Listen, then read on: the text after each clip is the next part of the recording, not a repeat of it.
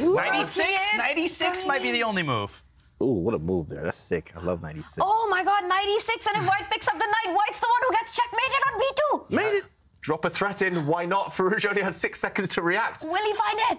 He it's on the does. board, David. Oh my god. Threat. Queen takes pawn. The black queen on the diagonal, coming and taking the pawn in front of the white king. White's queen has to swoop back and defend. Uh-oh. What happened? I don't like that move. What G5 happened? maybe. Ooh, Get him off the board! What happened there? He blundered me. Oh my goodness. it hurts. And that's it. A one-move made blunder by Alireza Firouzja.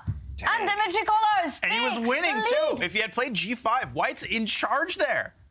Let's see that. I think it was a mouse slip. I think he was bringing his queen to f5 maybe, and uh, he would have been winning. Oh, he wins a piece. I think he wins a piece, but uh, horrible, horrible mouse slip and heartbreak for Firouzja.